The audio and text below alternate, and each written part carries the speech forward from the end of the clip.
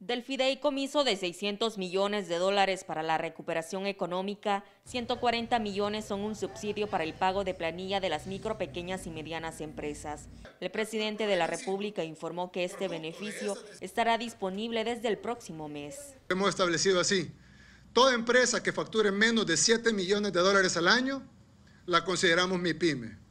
Y toda empresa con menos de 100 empleados, la consideramos mi pyme. El gobierno va a pagarle el 50% de la planilla que, que, pagaba esa empresa en febrero, la va a pagar en agosto y la va a pagar en septiembre. Las MIPIMES formales, es decir, las legalmente inscritas que pagan seguro social y AFP a sus empleados, podrán acceder al subsidio donde el monto máximo a otorgar es 22.500 dólares. Y va a ayudar a decenas de miles de empresas, sobre todo la micro bueno, sobre todo la micro y pequeña, pero también la mediana, para sostenerse.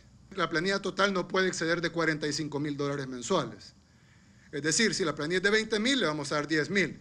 Si la planilla es de 30 mil de la empresa, le vamos a dar 15 mil.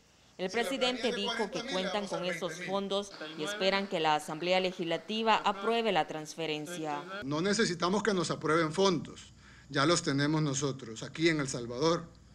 No necesitamos que nos aprueben el fideicomiso, ya está hecho y aprobado. Únicamente necesitamos que aprueben la transferencia. También anunció que se realizará una segunda entrega de paquetes de alimentos para apoyar a las familias afectadas por la pandemia.